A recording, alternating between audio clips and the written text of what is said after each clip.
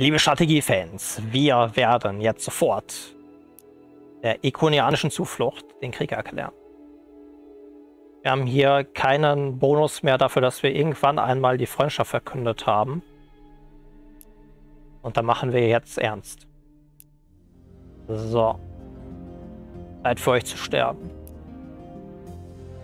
Sie sagen, wir würden das bereuen. Na gut. So, das wird jetzt noch nicht aktualisiert. Jetzt aber. So. Zielallianzig. Ihr Verbündete, zwei Feinde. Die Feinde müssen besiegt werden und dann haben wir es geschafft. So. Jetzt sind wir hier nicht perfekt vorbereitet, aber das erhöht ein bisschen die Spannung. Wir uns halt hier gegen die Flotten, die in unserer Kontrollzone sind, zur Wehr setzen. So, wir haben hier einen Titan, der hat sich schon bewegt. Haben wir hier, die Flotte hat sich auch schon bewegt. Und die hat noch 23 Bewegungspunkte.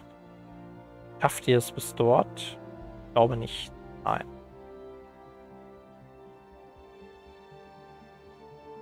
Aber wir fliegen trotzdem einmal darunter. Und mit den zweien kann ich da reinfliegen. Ah, es sind zwei starke Schiffe.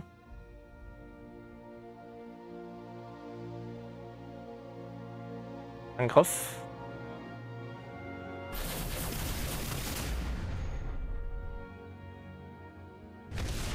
So, die erste Schlacht des Krieges.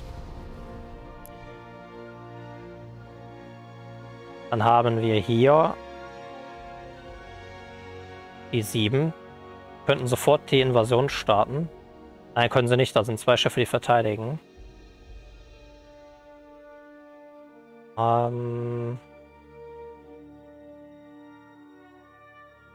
ja, wir gehen trotzdem hier in die Offensive.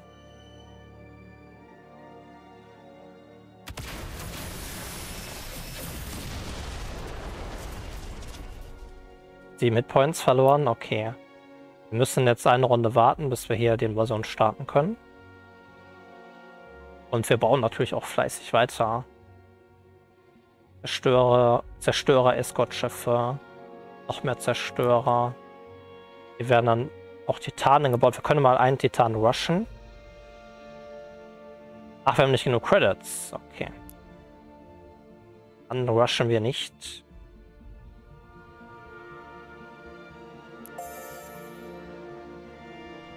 Ähm, ja, wenn es sich nicht mehr automatisieren lässt, dann einfach hier bewachen. So, kulturelle Forschung. Ähm, boah, okay. ja, wir gehen in die Richtung mit der Kultur, weil da kriegen wir dann auch demnächst noch ähm, Kulturpunkte. Hier zum Beispiel. So, und dann schauen wir uns unseren Heimatsektor an mit der ikonianischen Zuflucht. Ja, wir sind in unserer, in unserer Kontrollzone schneller. Kann man das hier im Tooltip sehen?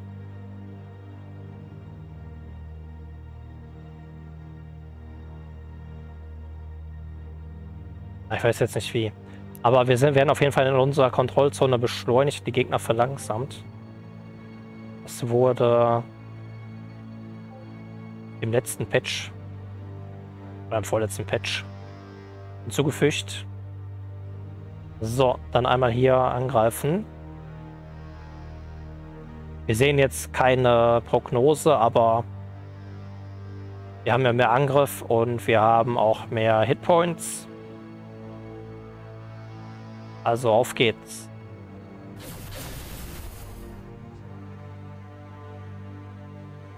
Okay, ein Schiff hat überlebt. Also der Kampf wurde nicht zu Ende geführt. Und das war wieder die Theorie, aus, die aus der Community auch kam. Wieder mal bestätigt. Wir hatten nicht mehr volle Bewegungspunkte und deswegen hat der Kampf kürzer gedauert. Können hier upgraden. Ähm, hau ich einmal die Points erhöhen. So. Dann haben wir einen Zerstörer. Kann ich mal damit machen. Der hätte auch dann dort angreifen können. Na gut. So, wir starten Invasion.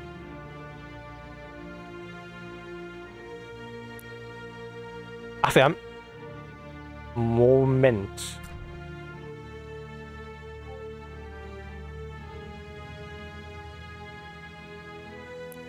Ach, die haben eine Militärbasis. Ja, okay. Das ist auch neu.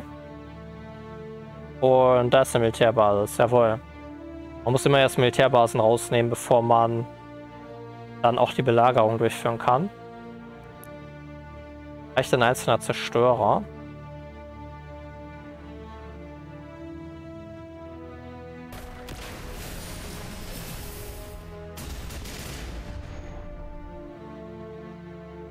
Jawohl. Sehr gut. Dann jetzt.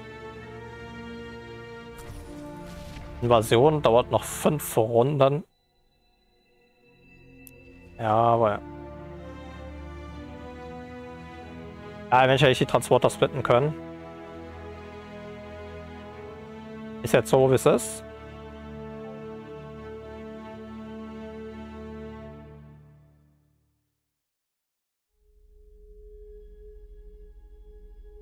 Ja, wir nehmen hier ruhig die äh, Schiffswerft raus.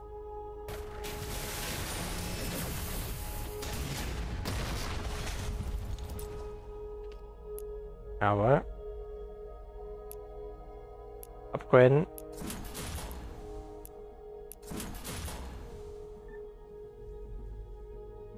So. Ja, mit den Josten fahren gleich fertig. Und ähm, die haben aufgegeben. Die haben aufgegeben und ihre ähm, ihren Rest den Arcanes geschenkt, so wie die Dwengen uns ihren Rest geschenkt hatten. Also alles, was jetzt hier noch in lila ist, wird dann in der nächsten Runde boah, entweder neutral sein oder gelb oder blau. Hm. Gut, wir fliegen dann mit unseren Flotten. Mal so. Ah. Schon mal in Richtung unseres Heimatsektors.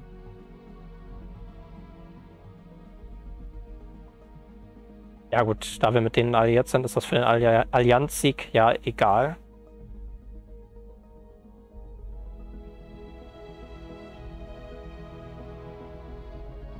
So, die drei.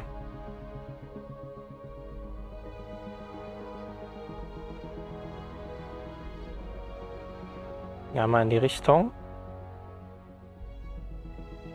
Der Titan. Schaffe das alleine. Moderate Verluste bei einem Schiff. Also das möchte ich jetzt mal auf die Probe stellen.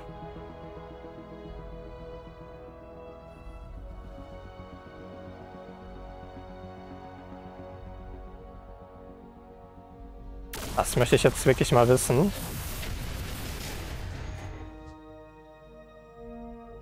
Also bei moderaten Verlusten wurden die, die Abfangjäger mitgerechnet. Hm.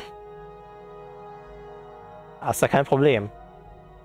unser Titan, der wurde nur ein bisschen angekitzelt.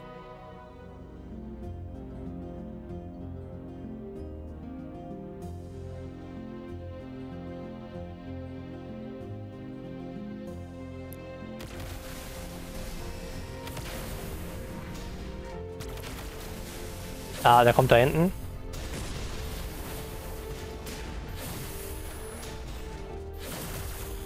So, jetzt machst du auch mit.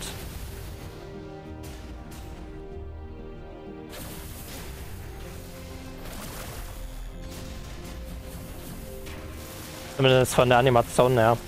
Vom Kampflock noch nicht. Okay, jetzt 102 Schaden. Hehe.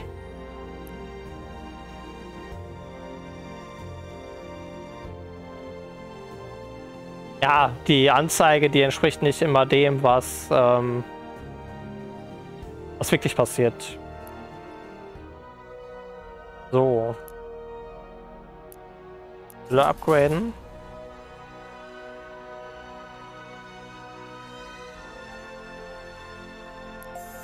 Wachen. Nächstes Schiff. Auch einfach bewachen dann. So, Titan. Oh. Trojaner gegen Arcanes. Oh, alles miteinander im Krieg. Und wir sind die Friedensstifter, Wahnsinn. Also, zumindest sind wir daran dann nicht beteiligt. Wir können noch hier einmal eine Goodwill-Tour starten. Diplomatie plus 1. Jawohl. Und ein galaktisches Fest, Tourismus plus 40 Prozent. Da sollen sich hier ruhig gegenseitig bekämpfen. Den einen Planeten da, den brauchen wir aber noch.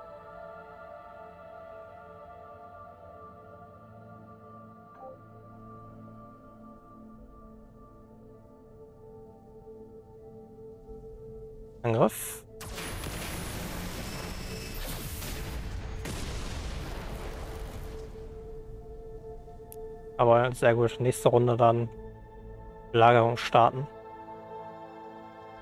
So, und der Titan. Er fliegt hier rüber.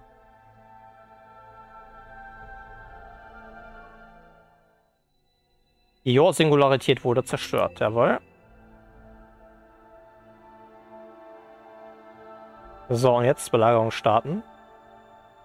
Dauert drei Runden. Also noch drei Runden, inklusive der aktuellen vier Runden. So. Und da ist ein Forschungsschiff dabei, erkennt man direkt an den bei Kreisen.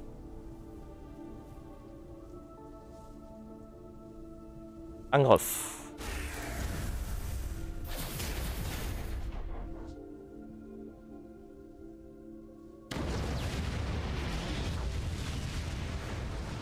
War kein Schiff verloren. Wunderbar. Die Cursor-Anomalie wird erforscht. Und dann geht's hier weiter. Ach so, das ist ja noch dieser verpackte Spot vom Anfang an. Vom Anfang der Partie.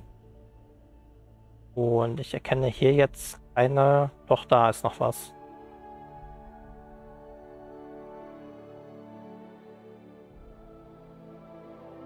Greifen wir hier ruhig so an.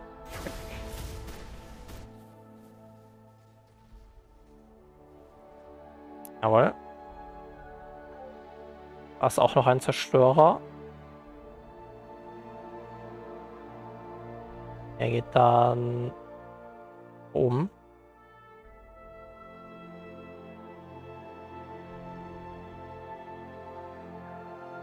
Die zwei können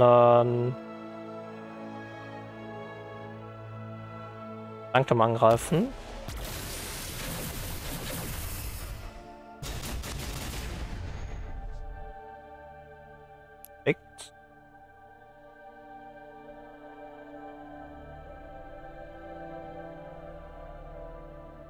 Nein, noch zwei Bewegungspunkte. Angriff. Er jetzt wird hier schon prognostiziert. Noch nur leichte Verluste. Ich wird der Kampf mal wieder sehr kurz sein.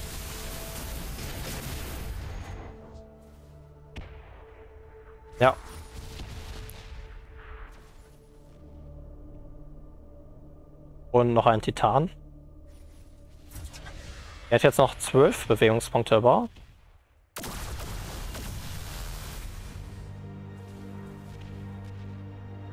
Er hat alles zerstört.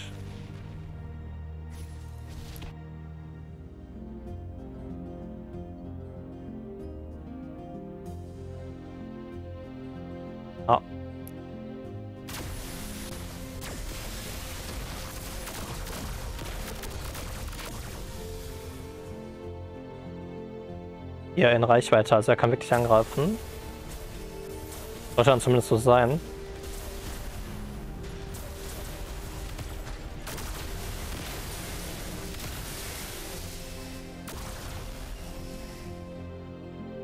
Okay. so.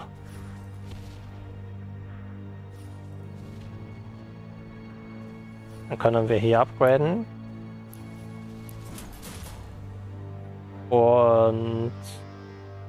Darf ich noch nach da oben fliegen?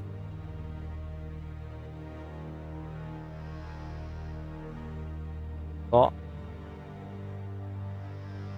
Ähm. Wo ist einfach mal ein Titan? Schiff bei Drenji. Sachen.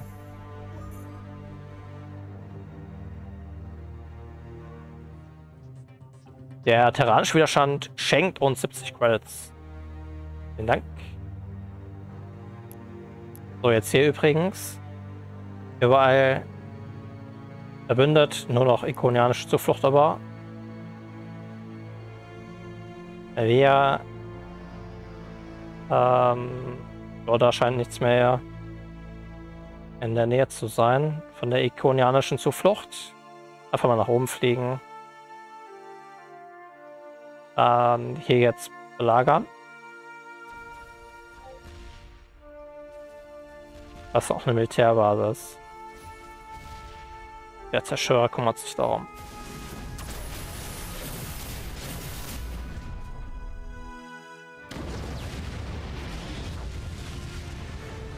Ja, wunderbar.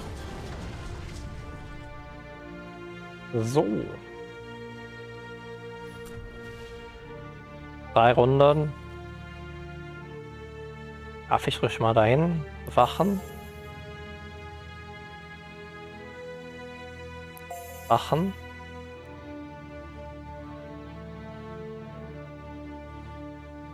Wachen. Äh, Präkursor-Anomalie. 10% Hitpoints für alle Schiffe. Gut. Ähm. Credits. Ich denke mal, es ist auch in eurem Interesse, dass ich mir das jetzt nicht mehr genau anschaue. Dann äh, Wachen.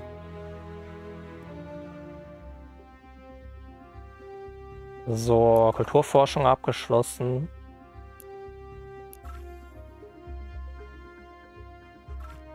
So, hier geht es dann bei der Kultur weiter. Wie gesagt, da würde man im Endeffekt noch dann auch Kulturpunkte bekommen. Ähm Ach so, hier. Da einmal noch mal näher ranfliegen, bewachen. Dann... Der gehört uns. Können die die Verteidigung schon mal weg... wegnehmen, rausnehmen.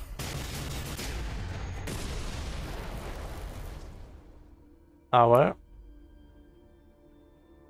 So. Wachen. Wachen.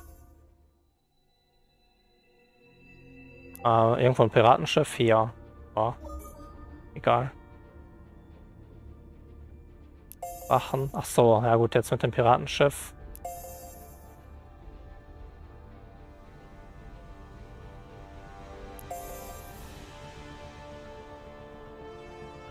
Okay, da verlieren wir Chef. Aber egal ist. So, Credit. Generieren und Credits generieren.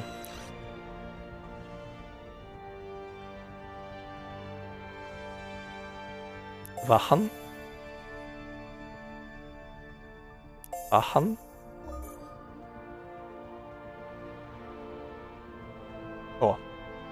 Riesiges Piratenschiff. Dann haben wir hier den Planeten auch noch eingenommen. Wachen. Und... Wie lange dauert es noch? gar nicht mehr lange. Wir haben den Planeten erobert. In der nächsten Runde geht es dann weiter nach New Iconia. Ähm, Wachen.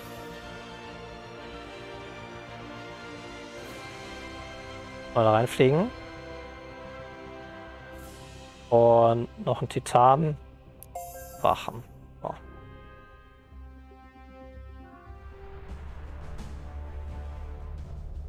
Ähm, okay, 10% unserer Credits. Jawohl. Haltet uns noch ein paar Runden die Treue und dann haben wir es geschafft. Hier gibt es jetzt einen freien Kulturpunkt. Und die Flotte kann da hochfliegen und wenn sie jetzt nicht mehr ready ist, dann können wir sie ready machen.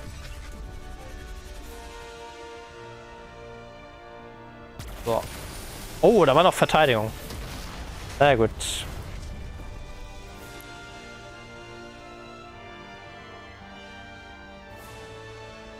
Runde dann. Ähm ja, plus eins bei den Beziehungen. Fertig. Tarn, Wachen.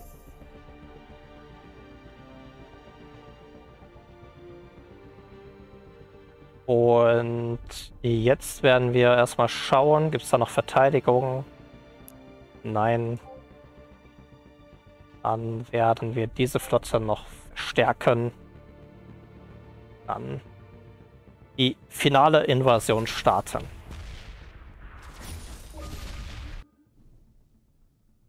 Ähm, machen.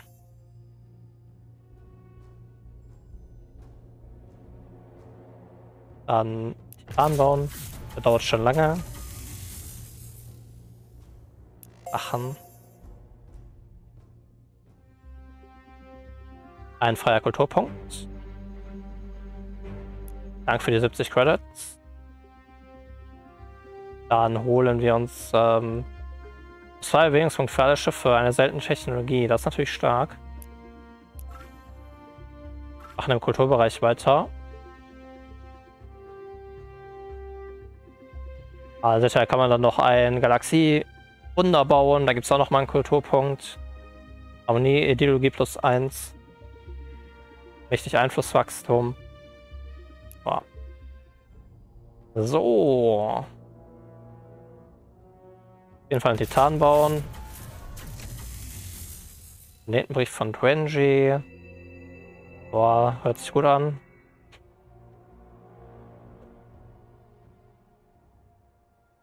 Äh, Wachen.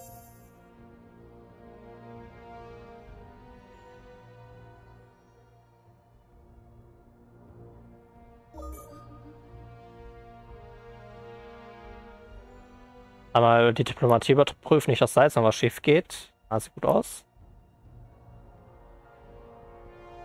Escort-Chef überwacht.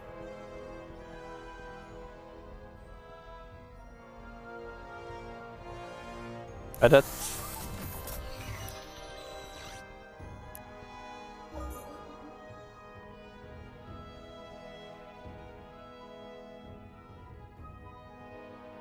Ah, Zerstörer, bewachen.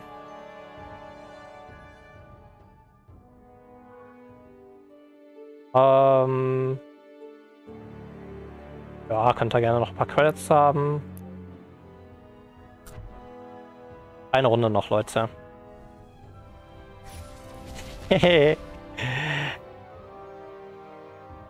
Wo ist das denn?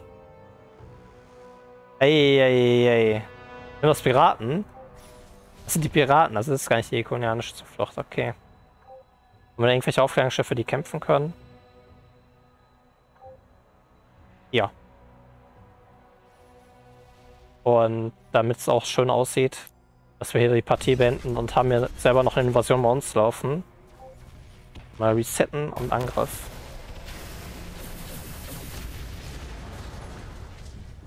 Ja, Titan. Und dann haben wir... Haben wir gewonnen?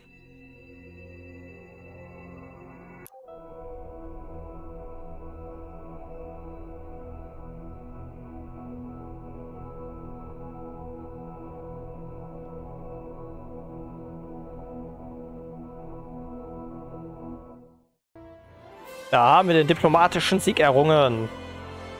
Mit der tyrannischen galaktischen Allianz. Jawohl. Stärkster Gegner. Ja, okay. Stärkster Verbündeter, Trojaner. Stärkster Planet war nicht unser Planet, sondern Island 2. Stärkstes Schiff natürlich unsere Titanen. Unsere Favoriten. Wir haben am meisten von den Zerstörern gebaut. Genetische Waffen haben wir bevorzugt. Ja, am meisten hatten wir von Antimaterie. Kreativität war bei uns die vorher herrschende Ideologie. Und Harmonie, da waren wir am meisten gegen. Die teuerste Technologie, massive Hüllen. Mit der haben wir auch gehandelt. Wir haben bekommen synthetische Antistoffe als, wertvollste, als wertvollste Technologie. So, Credits auf Platz 2, der Corporate Sektor mit Sicherheit auf 1.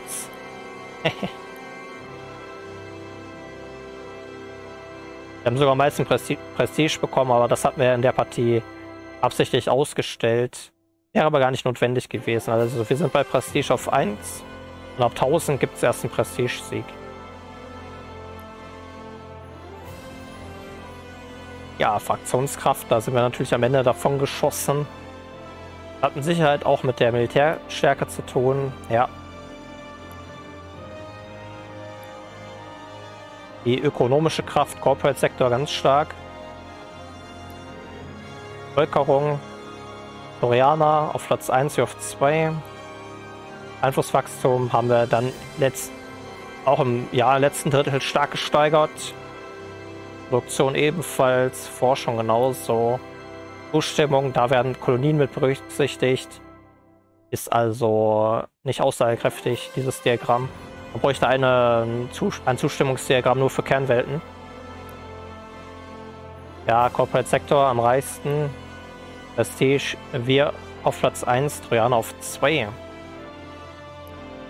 Ja, sehr schön, Leute. Dann ist der Plan aufgegangen. Gut, dann bis zum nächsten Video. Bye, bye.